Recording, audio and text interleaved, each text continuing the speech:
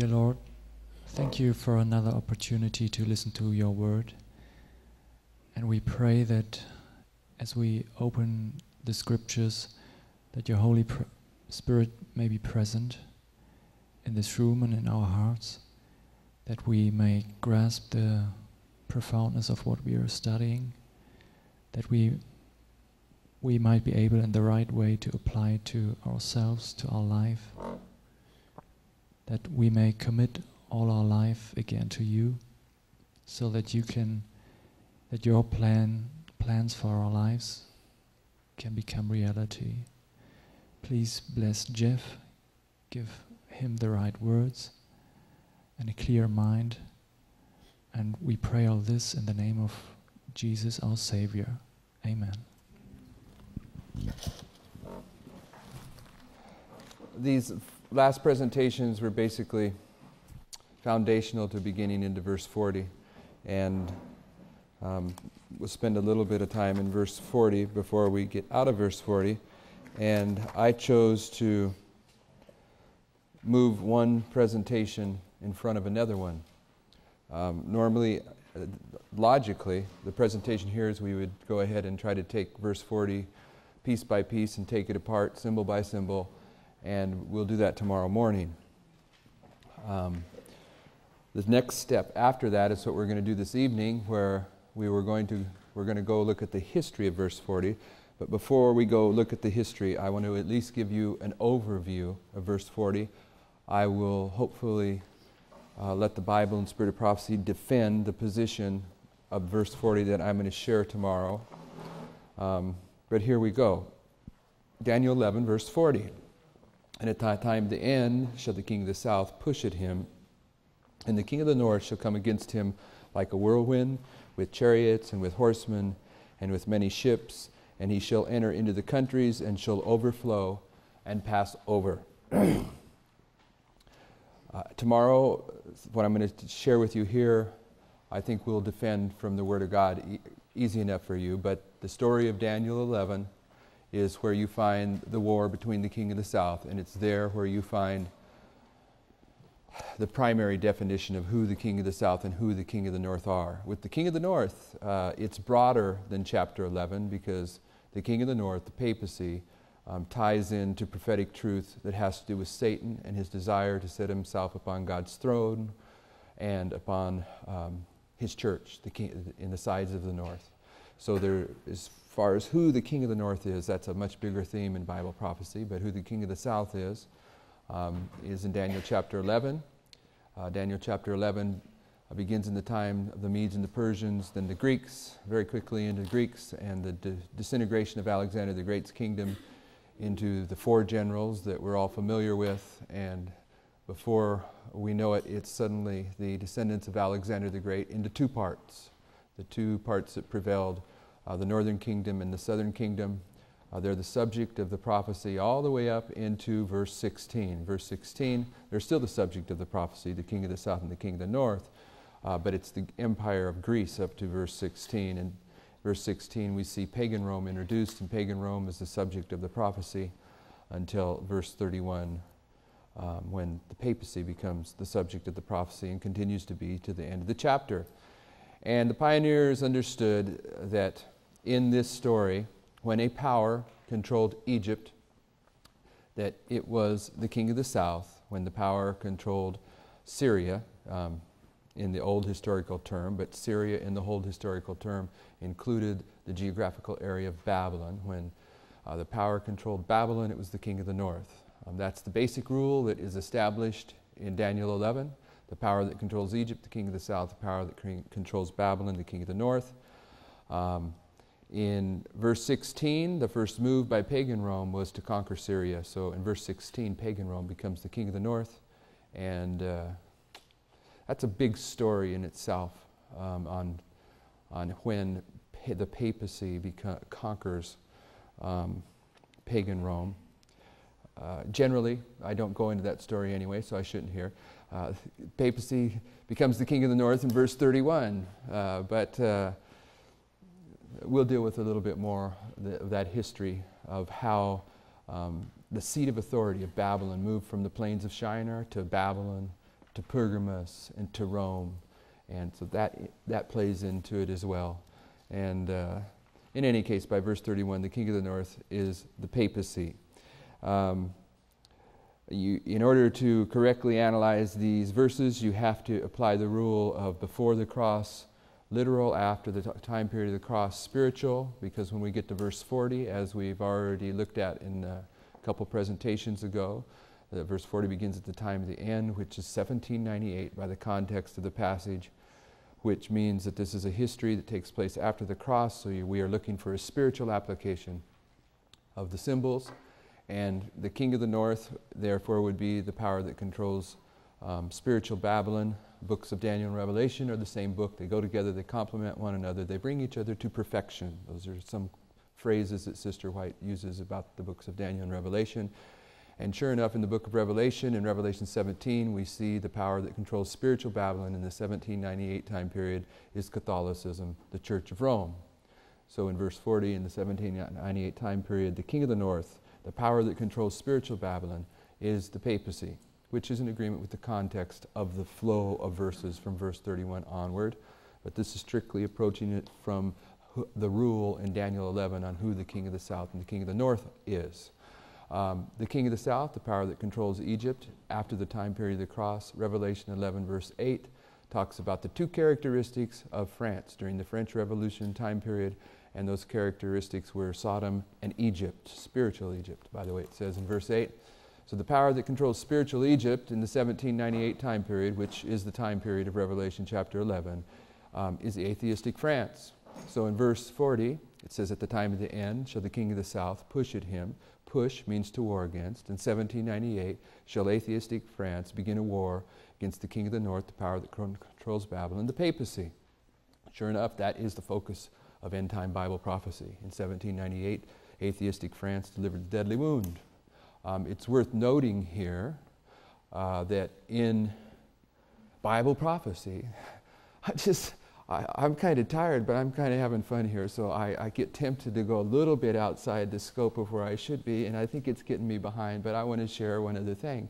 Um, some some powers, and I mean, I, this may be wrong here because I might lose some of you, but follow me. This is simple. It's not important to really nail down, but let's throw it out there anyway. Babylon, this is about Babylon.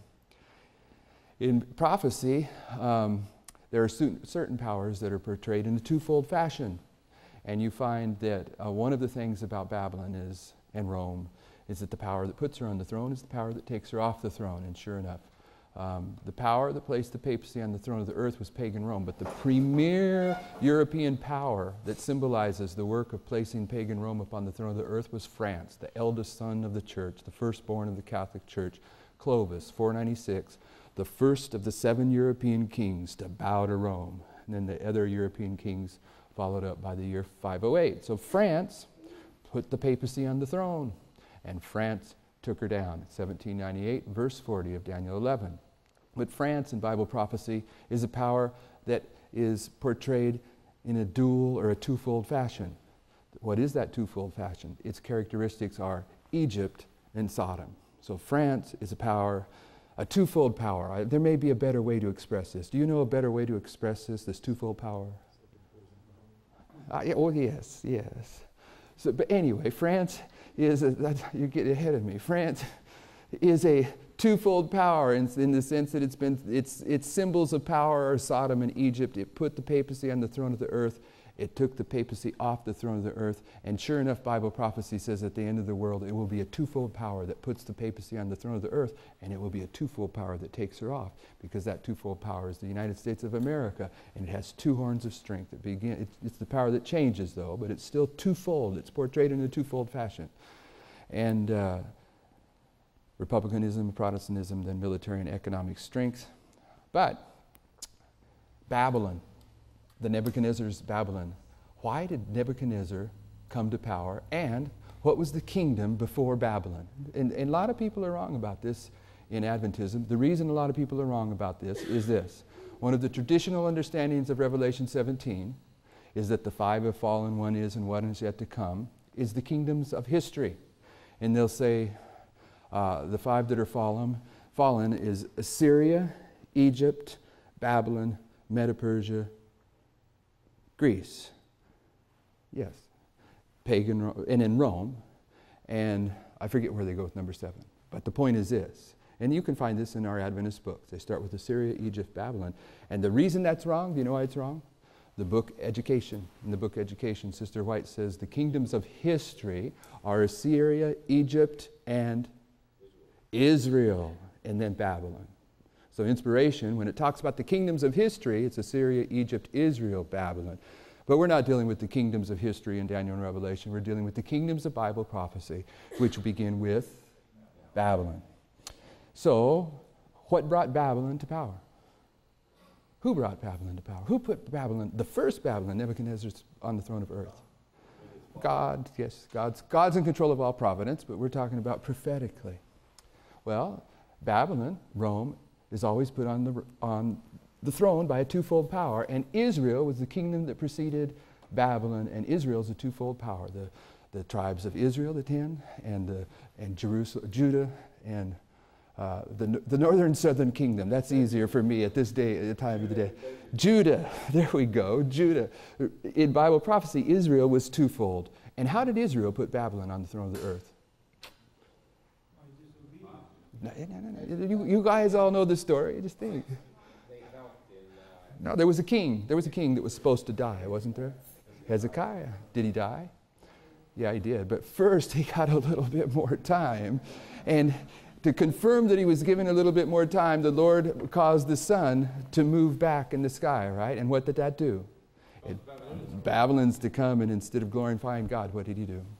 He showed him all the good and great things of Israel, and this was the motivation for Babylon coming to the throne of the earth. That was a twofold power. Israel's a twofold power in Bible prophecy. What took Babylon down? The Medes and the Persians. It's always a twofold power that places Babylon on the throne. It's a twofold power that takes her off every time. And uh, where was I going with all this? Oh, well, anyway, pardon me. France is a symbol of the United States. France and pagan Rome's role is um, paralleling the role of the United States at the end of time. There's more to be said about that, but that's just a, uh, an interesting truth of Bible prophecy. So at the time of the end, 1798, shall the king of the south, atheistic France, begin a war against the king of the north, the papacy. That's part A. Part B says that in time, and the king of the north, the papacy, shall come against him like a, a whirlwind. We read a quote earlier on uh, one of the characteristics of the papacy is it never changes. The Rome never changes. And one of the characteristics of the papacy is it never has its own military power. It's always given to it by outside power. That's a characteristic of the papacy. That's the story of Revelation 13:2 when the dragon gave the papacy its power.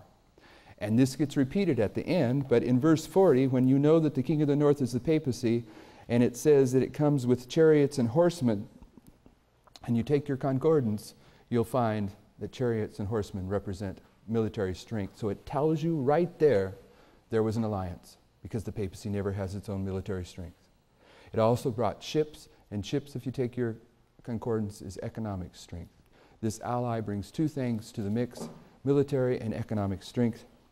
And uh, when it comes against him like a whirlwind, the Hebrew words, this, this come against, uh, if you look at the Hebrew closely, it's talking about coming against him with a mighty sweeping away and with an ascendancy. Uh, the Hebrew is talking about ascendancy. This is one of the characteristics of the papacy, is it ascends. And it comes in such a mighty way. It's a whirlwind. It's a mighty sweeping away. And of course, this is consistent with the sweeping away of the Soviet Union. The, the speed, that was what amazed everyone, the speed in which it felt. And when the Soviet Union, the modern king of the South, by the way, when you look at Daniel 11 and you consider who is the king of the South and the king of the North, as the history unfolds in the chapter, when a new power would conquer Egypt, that king would become the king of the South. Down the road in history, if another power conquered him, that king became the king of the South. Same with the king of the north. As, as history moved forward, the power that controlled the geographical area of Egypt was the king of the south. The power that controlled the geographical area of Babylon was the king of the north. But part of the story is, is it, it went through a change. So when we teach that the king of the south in the beginning of the verse is atheistic France, and by the end of the verse, it's the Soviet Union, that's consistent with the story of Daniel 11. Who the king of the south and the king of the north? It's okay that it changes through history based upon the historical testimony of the first 39 verses. And it says that when uh, the papacy finally sweeps away the modern day king of atheism, the Soviet Union, it will enter into the countries. This word countries means all the countries that made up um, the former Soviet Union, and that he, he shall overflow and pass over. And you can see it in the word overflow, but if you look in the Hebrew, this overflow and pass over, the definition of the Hebrew words is talking about a washing away with water. Okay, it's a, flood, which is a characteristic of the papacy and Babylon and Assyria and Satan in Bible prophecy, is when he comes in, he comes in like a flood. So it's also consistent with the characteristics of the papacy. But the reason I'm spending a little bit of time there, we will deal with these tomorrow. I'm going to defend them tomorrow, but I needed to spend a little bit of time with you on this because this part, which is the follow up for, for this for tomorrow's presentation that we're doing in advance, we're looking at this history from the sense that the fulfillment of this verse, the historical fulfillment, is, is how you demonstrate that prophecy's been fulfilled, is how? By historical events. So we're going to look at that. But at the same time, we're going to note that when this history came to pass in the 1989 time period, that the secular authors that were recording this history over and over and over again, and I mean constantly, as they were describing the collapse of the Soviet Union, they would pull a word out of verse 40 in their newspaper or magazine articles. There's only 50 words in there, and it, it's, once you see this verse for what it is, you don't even think it's an accident. You know that God was controlling um, those reporters, those authors, as they were putting their testimony together. Um, so, normally, dealing with this history would come after we went through uh, the symbolism of the verse piece by piece. But um, you'll see that I, hopefully, if this goes well, uh, this is an interesting and short presentation. Selected Messages, Book 2, page 102. Historical events showing the direct fulfillment of prophecy were set before the people, people, and prophecy was seen to be a figurative delineation of events leading down to the close of this earth's history. The scenes connected with the working of the man of sin are the last features plainly revealed in this earth's history. That's how prophecy is demonstrated, is from historical events. So, here is some of the articles, just pieces of articles that were dealing with the collapse of the Soviet Union in 1989. Now remember, one of the words is push, which means to war against, and Time magazine says, when the Holy Roman Emperor Henry IV decided to seek pardon of Pope Gregory VII in 1077, he stood barefoot for three days in the snow outside the papal quarters in Canossa, Italy. Though Gorbachev's concordat with the church was less arduous, it was no less significant in its way. Why is it significant? Why is it prophetically significant that Gorbachev went to see the Pope shortly before the Soviet Union collapsed? you want to know why it's significant? Because when you get to the trumpets, it's worth understanding that. Because the, the seven trumpets, the first four trumpets, they're put in a compartment. How, why, how do I say they're put in a compartment? Because the first four trumpets are four trumpets, and the final three trumpets are woes. Inspiration makes a distinction between the first four trumpets and the last three trumpets. And if you've watched very carefully on the pioneer position, this isn't new light on the history. The pioneer position tells you that the history of the first four trumpets brings you down to the, the decimation of Western Rome. It brings you down to the time period just before the papacy took control of the world. And the pioneers will agree with this. The pioneers will tell you that the first woe, Islam, and the second woe, Islam. What, was, what did the pioneers say the purpose of Islam in the fifth and sixth trumpet were? They were raised up to chastise an apostate church. See, they came into the history just after the papacy is established on the throne. So the first four trumpets take us to the history of just before the papacy taking the throne of the earth. And there's something very significant in that history, and that history is the year 533 in the year 533, Justinian gave his empire to the papacy. How did he do that? He identified the Pope of Rome as the head of the churches and the corrector of heretics. Uh, there's a, a, dynamics that takes place here that's worth paying attention to. Here was the emperor of Rome, and what did he do? He gave his kingdom away to another king, and then shortly thereafter, five years later in 538, his kingdom was removed. Okay? The first woe, the next trumpet, the same dynamics takes place in the first woe as it concludes. As it concludes, what, what concludes the first woe and starts the second woe? It's when the last emperor of Eastern Rome was afraid to ascend the throne because he knew the Ottoman power was so powerful that they were really the ones in charge. So before he would ascend the throne, the very last emperor of Eastern Rome, he first got permission from the Ottoman Turks. And they said, Yes, you can ascend the throne in 1449, July 27th. And four years later, they came to Constantinople and destroyed it anyway. So it's the same dynamics. The first four trumpets ends with the king giving his kingdom away. Shortly thereafter, the kingdom swept away. The first trumpet ends with the king giving his kingdom away. Shortly thereafter, it's swept away. The second woe came to a fulfillment on August 11th, 1840. And what was the dynamics? The last leader of the Ottoman Empire refused, he turned his, he turned his kingdom over to the four great European powers. And shortly thereafter, his kingdom's divided out. The same dynamics at the end of the fourth, first four trumpets, which is a compartment all its own, based on inspiration. Same dynamic at the end of the first woe, at the end of the second woe, and here we are at the end of the world, and we see Gorbachev giving his kingdom away just before it's swept away. And we won't go into it, but I'm telling you, there is a parallel here in the end of time. And in terms of push of verse 40, this struggle between the king of the north and the king of the south, a title, Gorby's bow to the Roman legions. Pushed too far, this is from Life December 1989, it's talking about the struggle between the Soviet Union and the papacy, the king of the south and the king of the north. This is 1935. Joseph Stalin, absolute ruler of the Soviet Union, was given some unsolicited, unsolicited advice. Make a propitiatory gesture to the Vatican, he was told. Push too far, his country's Catholics might become counter revolutionary. Stalin's great mustache amplified his sneer. The Pope and how many divisions has he? The answer then was that he has none.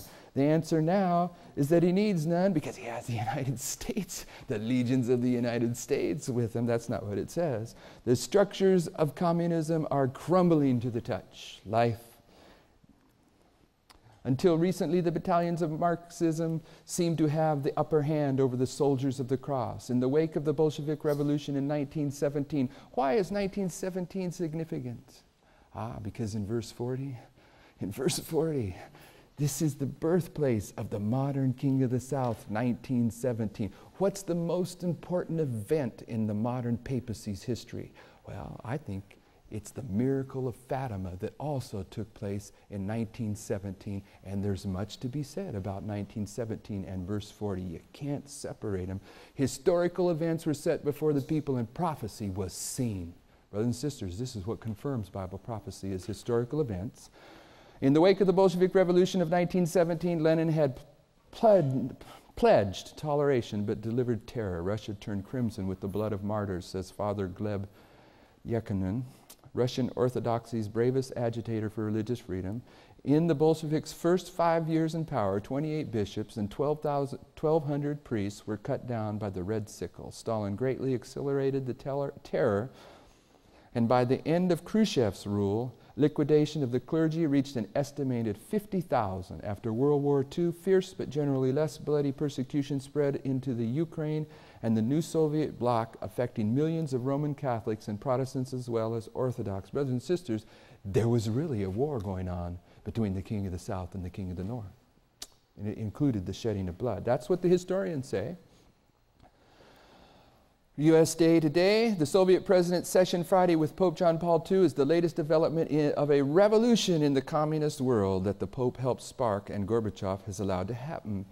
Prophetically, one of the characteristics of the King of the South is revolution. The King of the South, uh, France was born in the French Revolution. The modern king of the South, the Soviet Union, was born in the Bolshevik Revolution. And as Russia began to spread its doctrine of communism around the world, what was its primary method of doing it? Well, it would infiltrate countries, foment dissent, and bring about a revolution. Revolution is one of the, the prophetic marks of the King of the South. In private meetings with the heads of state, backroom consultations with dissident groups, and persistent propagandizing for his crusade against tyranny, he, John Paul II, has helped bring about the greatest policy change since the Russian Revolution. History is talking about this struggle of verse 40. Overflow, which means rush, wash away. Notice Life magazine, the rush to freedom in Eastern Europe is a sweet victory for John Paul II. His, John Paul II's triumphant tour of Poland in 1979 says, Polish bishop altered the mentality of fear, the fear of police and tanks, of losing your job, of not getting promoted or being thrown out of school, of failing to get a passport. People learned that if they ceased to fear the system, the system was helpless. Thus was born solidarity, backed by the church and led by such friends of the Pope as Lech, Walesa, Lech Walensa, wasn't it Walensa? And Tadeusz Mazowiecki who subsequently became the Soviet bloc's first Christian prime minister. Now, I know if I'm reading these men's names in an American audience, nobody has a problem. But reading this in front of Europeans, they know I'm not pronouncing this right. My apologies. In any case, there was a war going on between the king of the south and the king of the north, and at the collapse of the Soviet Union, the testimony from the secular press is pulling the words from the very verse of 40 out of the verse to use it, and it's describing the identical history that we're suggesting took place in verse 40. Life, December 1989, the triumph of John Paul II, the tide of freedom, freedom washing over Eastern Europe answers his most fervent prayer. It will rush, wash away, overflow, the tide of freedom. When Tadeusz Mazowiecki took over in August 1989 as Poland's first non communist prime minister in 45 years. He was asked if he was a socialist. I am a Catholic, he answered tersely. They passed over, overflowed the countries. Pass over. Last year, Lithuania's two leading bishops were returned to head diocese, diocese after a combined 50 year, 53 years of internal exile and the cathedral in Vilnius, previously used as an art museum, was restored for worship. This year, the Belarusian Republic got its first bishop in 63 years.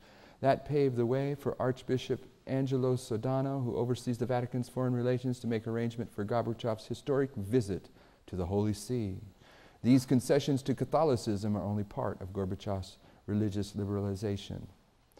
The revival of religious freedom is expected to include lifting of an official ban on the 5 million member Ukraine Catholic Church, which has survived underground since 1946 when Stalin ordered it absorbed into the Russian Orthodox Church. Winning legalization for the Ukrainian Church has been a primary aim of the popes. Officials in the Soviet Union say they will clear the way for legalization by permitting Ukrainian Catholics to register as other religious groups are now required to do in the Soviet Soviet law. There was a, um, a critique uh, by a leading official about what we share about Daniel 11, 40, 45. And uh, one of the statements of this man was, is, you know, Catholicism hasn't entered into the former Soviet Union. Brothers and sisters, it was, it was turned loose when the wall came down. It, it, someone saying it wasn't isn't, it may, he's not just arguing against some Adventist that has an idea about verse 40, he's arguing against the historical record by secular authors. Whirlwind, a mighty sweeping away. Title in Newsweek, December 25th, 1989, Days of the Whirlwind. And I have this magazine with me. This magazine goes point by point as you get inside the different events that uh, took place in bringing down the Soviet Union. It's, it's very um, informative to look at. Of all the events that have shaken the Soviet bloc in 1989, none is more fraught with history or more implausible than the polite encounter to take place this week in Vatican City. There, in the spacious ceremonial library of the 16th century Apostolic Palace, the czar of world atheism, Michael Gorbachev, will visit the vicar of Christ, Pope John Paul II. The moment will be electric, not only because John Paul helped inflame the fervor for freedom in his Polish homeland that swept like brush fire across Eastern Europe. Beyond that, the meeting of the two men symbolizes the end of the 20th century's most dramatic spiritual war. Seventh day Adventists may not want to admit there's a spiritual war being identified in verse 40, but the history says there was a spiritual war going on. time, December 4th, while Gorbachev's hands off policy was the immediate cause of a chain reaction of liberty that has swept through Eastern Europe in the past few months, John Paul II deserves much of the long range credit. Come against him like a whirlwind, a mighty sweeping away. From the magazine uh, titled The Holy Alliance um, in 1982, the author of that magazine is a, a well known author in the United States. He became famous um, in the Watergate scandal in the presidency of Richard Nixon. He and another reporter um, discovered the Watergate, Watergate scandal, and as they exposed Richard Nixon, they both received a Pulitzer Prize. And uh, he wrote this article um, that, uh, that you find inside the magazine titled The Holy Alliance.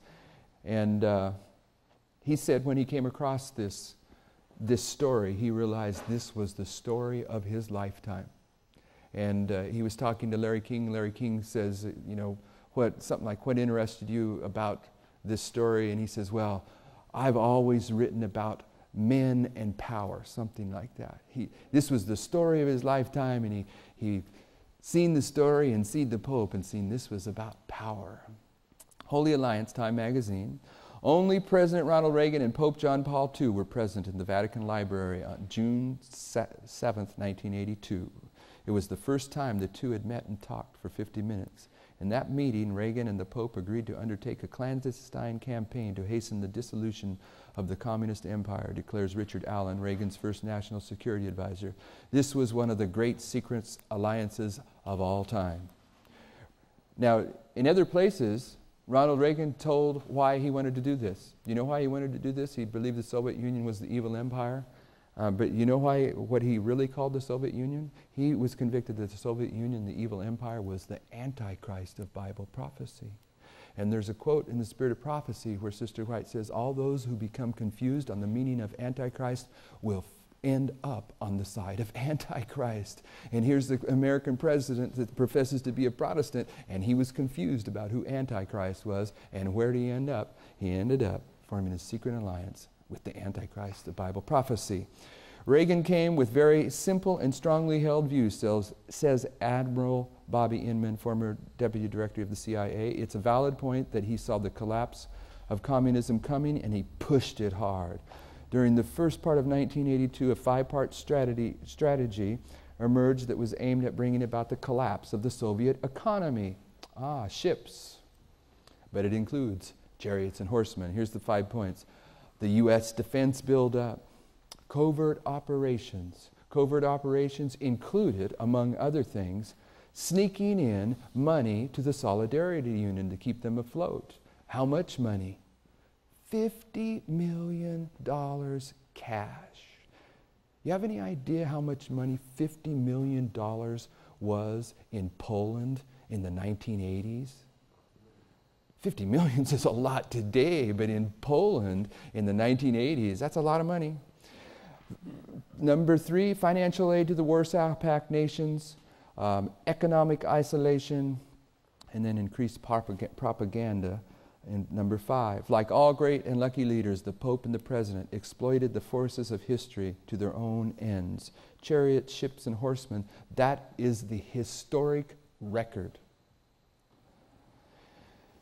in 1981, the Communist bloc got another shock. A new American president, Ronald Reagan, began fulfilling his promise to challenge the Soviet, not to placate them. Over the next few years, he accelerated military buildup and announced the Strategic De Defense Initiative, a space based system for protecting against missile attack. He backed anti communist re rebels in Nicaragua, Angola, Cambodia, and Afghanistan.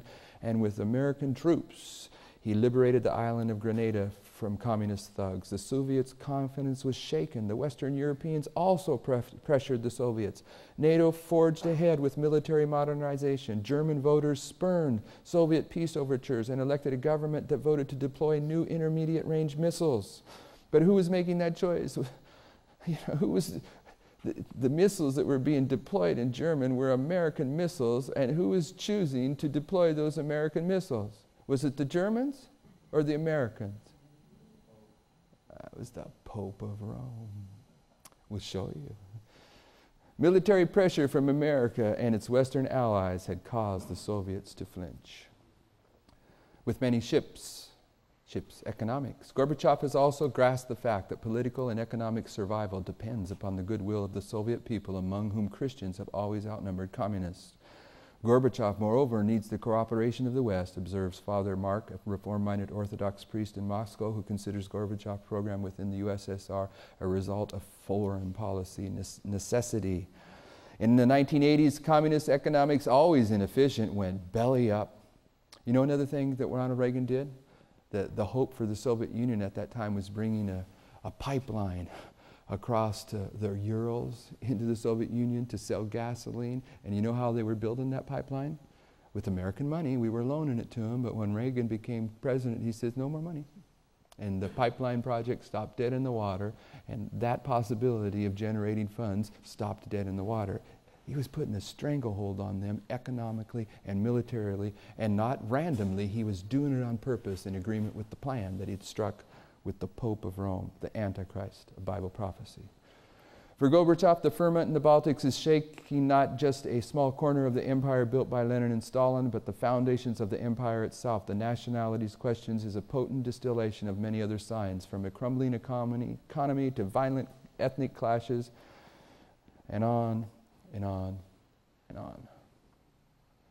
With the Pope's support, solidarity was formed, and Pope John Paul II sent word to Moscow that if the Soviet forces crushed solidarity. He would go to Poland and stand with the people. Now, brothers and sisters, that meant something. Why did that mean something? Because they knew who he was. They'd already had a run in with him, and it had to do with Fatima. And they knew he, they were scared of him. In fact, um, that is the one reason that they hired an assassin to kill him. And uh, because he was blessing a young girl with the Fatima of Mary button on her blouse and bent down. The assassin missed a little bit and he did not get killed. He just received the deadly wound. May 13th, 1981, the Feast of Fatima. In May 1981, May 13th, May 13th is uh, the day that Catholicism celebrates Fatima because that's the day of the year when Fatima, the Mary of Fatima first appeared to the three children. In May 1981, before a vast audience in St. Peter's Square, Pope John Paul II was shot and severely wounded by Mehmet Ali Agca. There was immediate speculation that the gunman had been sent by Eastern Bloc plotters from Bulgaria, sponsored by the Soviet secret police. Their aim to silence the one man capable of shaking the foundations of international communism. They knew it from their earlier interaction with him that he was the one man that would cause them trouble. And when the Soviet Union finally came down and the records started coming out, it's recorded in history that they did hire that assassin. Jubilee, April 1990. In Poland, the freedom movement was born almost three decades ago when the Bishop of Krakow sought approval to build a new church.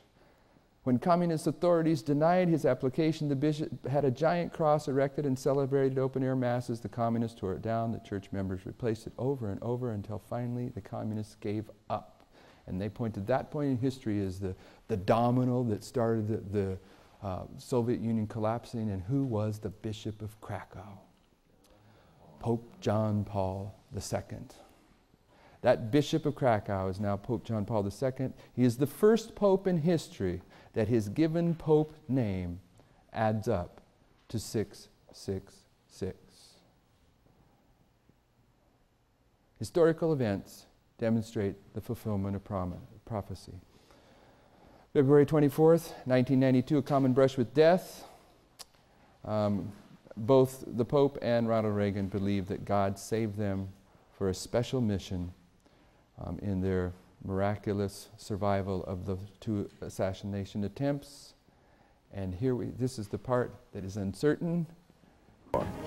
Here's Larry King.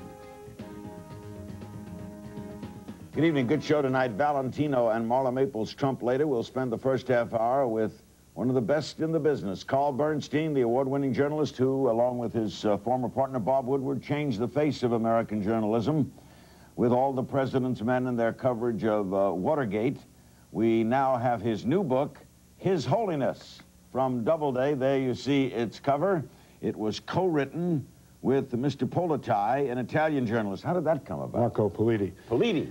Well, this is a book that's really a biography, and at the same time, it's history and the secret history of the end of the Cold War and the Pope's role. And because I don't have a Catholic or widely known Christian background, uh, I thought that, that I really needed a collaborator who could put context to information that, that I was getting. And So this was your baby and you went to him? exactly. And the two of you, were- is that hard? Uh, Well, you're used to it, right? I'm, I'm used to it, and it was, it was a wonderful uh, experience in the sense that Marco brings a dimension to this book, a European sensibility and understanding of the history of the papacy and the Vatican that I just don't have. Who did what writing? How did, how did that I work? ended up uh, sewing it all together, but he drafted some sections. Uh, the last part of the book he, he is largely responsible for, in which you see the Pope in isolation in the declining years of his life.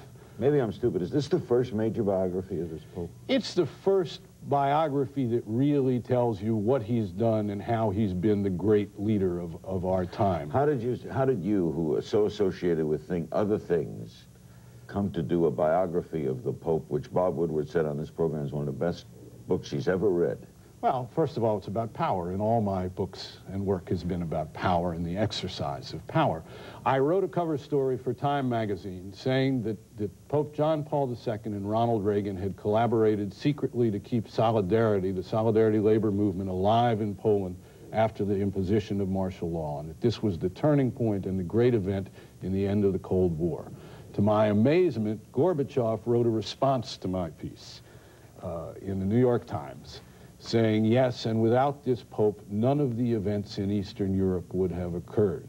And at that point, I said that my intuitive sense of this man is, is, is one thing, but this is really the great story of our time. Did you attempt an interview? Yes.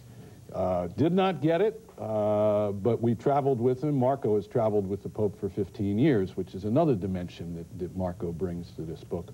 Uh, but really talked to the people closest to him and had access to remarkable secret documents, uh, particularly in Washington, detailing the secret relationship, the visits made by CIA Director Casey uh, to the Pope. Uh, Special Ambassador Vernon Walters undertook visits every six months that were totally secret, one of the, the biggest secrets that we had to You see got the Pope. cables, I got the cables, and they're Print amazing. them in the book? Yes, uh, some of them. You, uh, it talks about how the Pope examined satellite photos showing Soviet troop deployments. We shared all of our most important intelligence with the Pope, particularly about Poland, which was the linchpin to the end of communism, uh, and the Soviet Union. Uh, Marco may better be able to answer this, but I'll ask it of you. Why don't popes do interviews? Um, I think they feel they're above it. I think that's a good enough reason. I mean, they'll talk occasionally to a cardinal who Yes. do a Q&A. Well, this, this pope is the most media-conscious pope there's ever been. He's written a book. Mm-hmm. Uh, he puts out the version of events that he wants to be put out. Uh, and he has done interviews. He does interviews in which he has this, the questions submitted to them, and then he brings it out as a book later. Uh, we should all be able to do interviews like, like. Bob Hope. Yes, exactly. not a bad move. Yes. All right, wha- he is, though, is he not, a great study in contradiction if we could make the case that inside the church he's one of the most conservative prelates. Outside, he is a socialist. He's anti-capitalism, he's against big money, he thinks we should share the wealth, etc. Is he two people? he is, is more than anything a man of contradiction. Uh, he feels very close to women, and at the same time, he has a tormented relationship, obviously, with, with all of womankind. He's got huge problems with the women in his church. They're leaving. The nuns are angry at him uh, for not uh, giving them an increased role in, in the church. Uh, he is a dogmatic, uh, conservative, uh, and a, a liberal humanist. Uh, he, We don't have, you can't find very few of them in the United States, very few of them anywhere. How do you explain it? You must go back and explain this. Well, I think you have to look at his Polishness. Uh, he grew up uh, under the Nazi occupation and then under the communists in, in Catholic Poland, which was a, an area of Catholicism that was untouched by, by Western Catholicism. But I think the important thing to understand about this man is that he believes he is divinely inspired. He is a mystic. That's the other key thing about him. He is a true mystic. He prays six, eight hours a day, laying down on the floor, his arms prone as if he were on the cross. Uh, he, uh, he believes in apparitions of the, of the Virgin, believes his own life has been saved by the Virgin of Fatima. Uh, so he seeks and acts on what he believes is divine inspiration. And this was particularly true in his struggle with the communists and particularly true in, in deciding that, that he and Ronald Reagan could work together. That's where the humanism came from, right? The struggle against oppressors. Well, I think the humanism comes from his interpretation of God's will. I think it's more than just oppressors. He, he is someone who believes he is a great champion of human rights uh, and, and universal values, although there are women who would say that, But in the area of human rights, abortion aside, uh, maybe the number one spokesman in the world. Maybe absolutely, he and Mandela, he and Nelson Mandela are the only great spokesmen in the world for universal principles. Our guest is Carl Bernstein. The book has been published in, what, 15 countries Uh, simultaneously? 12 countries. 12 countries. That but may be a first. Uh, the book is His Holiness. The publisher in the West is Doubleday. We'll be back with Carl Bernstein on Larry King Live right after this.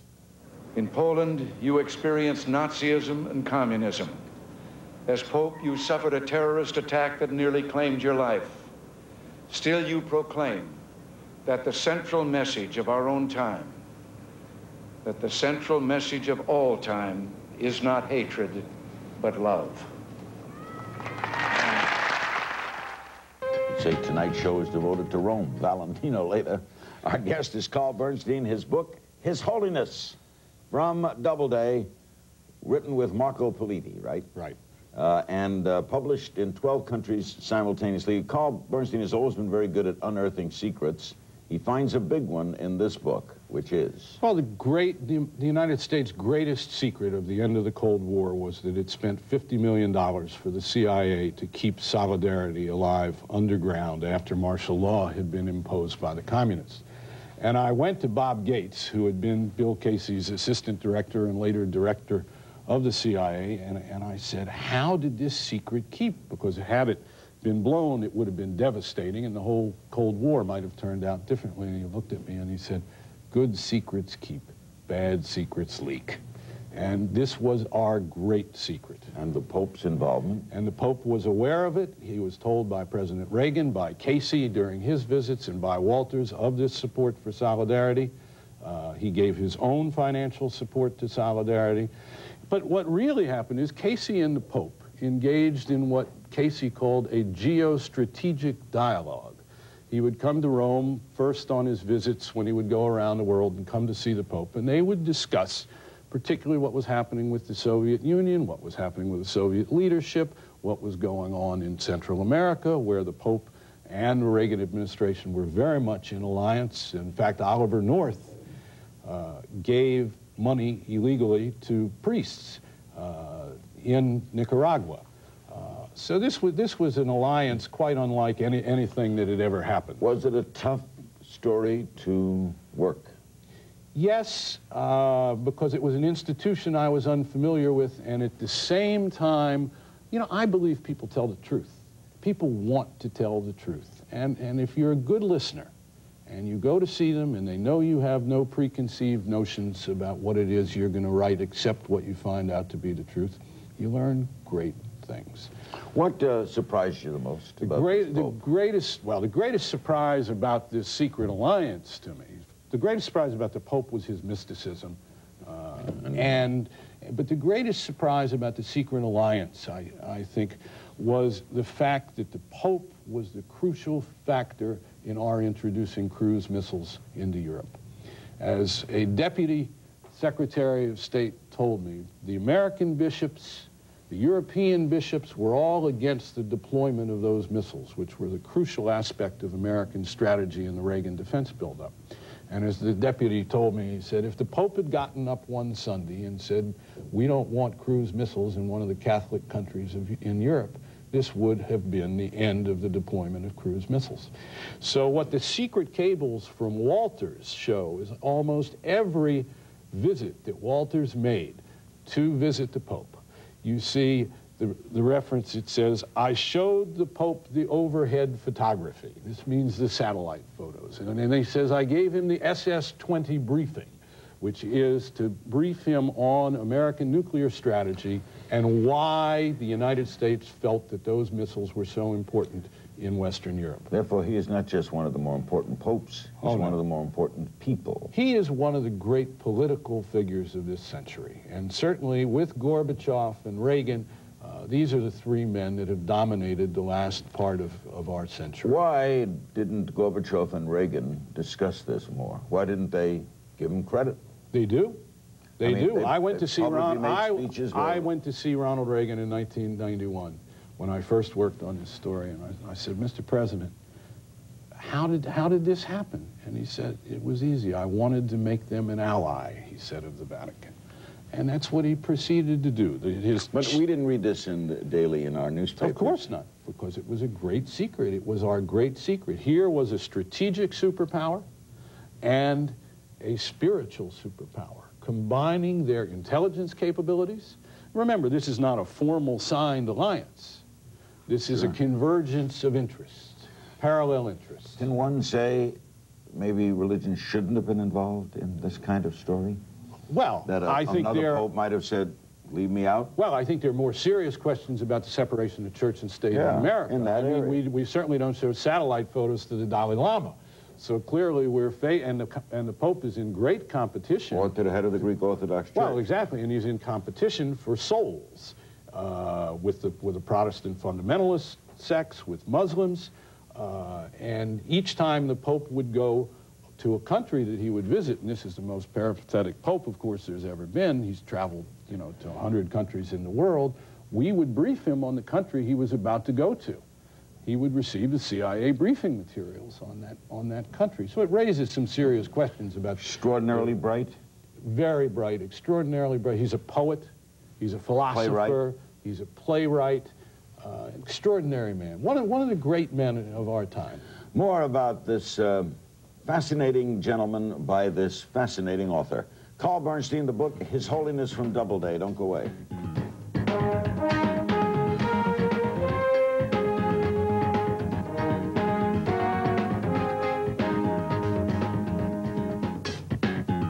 Back a little. Uh, the book, His Holiness. Back a little. How did Pope John Paul II get to be Pope?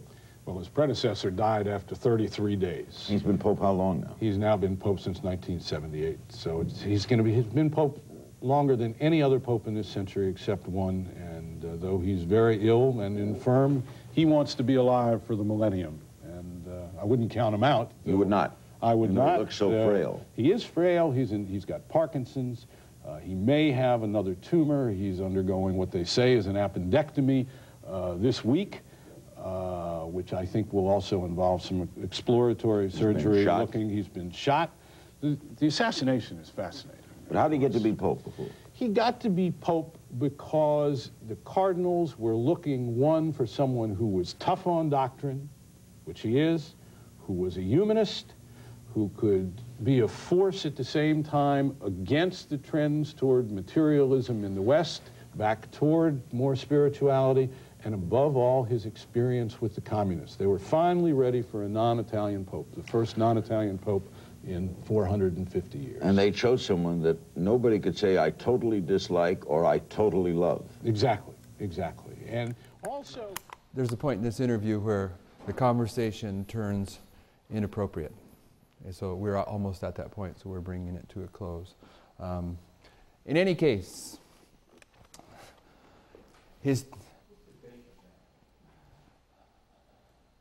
Who knows what the date of that is? Is that for the millennium? That video? Yeah. About 98, 97 maybe? 93 or 94. I was going to say, n- the, the, yeah, 91 was a reference in the past tense, though. I think it was the 93, 94, 95 time period. Were they asking because of the frailty of the Pope? Were they asking? Yes, if he's going to make it to the millennium. They've Um, historical events are what demonstrate the fulfillment of prophecy. And uh, this is just one sample of historical testimony that in, agrees with uh, the the definition of what we're saying this verse is giving us on Daniel 11:40 the, the agrees with the the history that we're saying it sets forth um, and in this historical confirmation it opens up I mean, you can spend several hours doing Daniel 11:40 when you start delving into the history. But one of the one of the testimonial, one of the prophetic confirmations that the history we're suggesting this verse is identifying is the fact that the secular authors they kept going back to this history, back to this history. I mean, it, it just keeps coming up. How many times does a book come out in 11 languages around the world at the same time? This book, if you, how many have His Holiness? Oh, it, it should be on every Seventh day Adventist bookshelf. I mean, it tell, tells the history of verse 40 right to a T. And, uh, but it's, it's one of many. I had to quit buying the books dealing with the history of the collapse of the Soviet Union because I wasn't reading them. I didn't have time, and they're just filling up the bookshelf. And the point is, is God kept bringing this history out, kept bringing this history out. How did he bring it out recently? Pardon? Ronald Reagan died, and we got to hear the history all over again. Kathy and I were traveling across country driving when, that, when the funeral was going on, and all day long we had it on the radio listening to the history, and they can't get away from the history that it was Gorbachev, the Pope, and Ronald Reagan that brought down the, the, Soviet Union together. And I mean the Soviet Union together because Gorbachev, he didn't retire, did he? He was, he was the king over the king, king of the South atheism, and he moved to another battleground. Where did he go when he retired? Right into the United Nations. He took a post in Egypt. He took a post in Egypt, but that's, that's another story. This, this history of this verse, uh, go in and, and, study Fatima and how it relates to this verse, and you, and you realize if, this, if, if what we're saying about this verse is true, if this is present truth, you would expect to have just a mountain of information. If this was uh, a verse of present truth that, that qualified as the increase of knowledge for the end of time, you'd expect to find just you know, lights come on in history and other parts of the Bible, and it does. And historical testimony agrees to what we're saying right down the line. Shall we pray?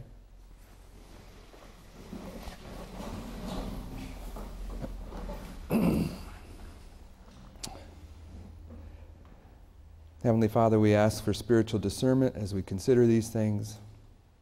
Help us to see the events taking place in the world that are crying out that probation is about to close. Help us understand what that means to us individually and help this, this historical testimony be a tool in your hands, in the hands of the Holy Spirit, to convict us of our need of preparation for a time period when there will be no intercession for sin. Lord, we want to be students of prophecy, we want to be messengers of prophecy, uh, but we don't want to be as the, the man was in Jerusalem that took the warning message for seven years and then the destruction of Jerusalem came and he died within the walls. For we're told that no Christian died in the destruction of Jerusalem. We don't want to be a messenger that isn't being empowered by your Spirit. So we ask that you do whatever it takes to make us um, tools in your hand to take this message to the world. We ask you to strengthen us for this week. We're just getting started into this week.